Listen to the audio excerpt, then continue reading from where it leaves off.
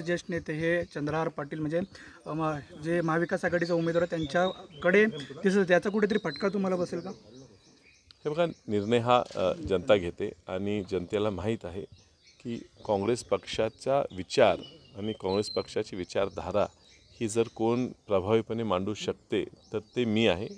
आणि त्यामुळे मला प्रत्येक मतदार प्रत्येक ह्या महाविकास आघाडीच्या विचाराचा मतदार हा मलाच मतदान करणार आहे. त्यामुळे थोडीसुद्धा आमच्यात मतविभागणी होईल असं वाटत नाही. या उलट जे शिवसेना मागच्या वेळी भाजपवर लढत होती आत्तापर्यंत त्यामुळे त्यांच्या मतातच विभाजन होणार आहे आणि म्हणून माझा विजय जास्त सुकर झालेला आहे.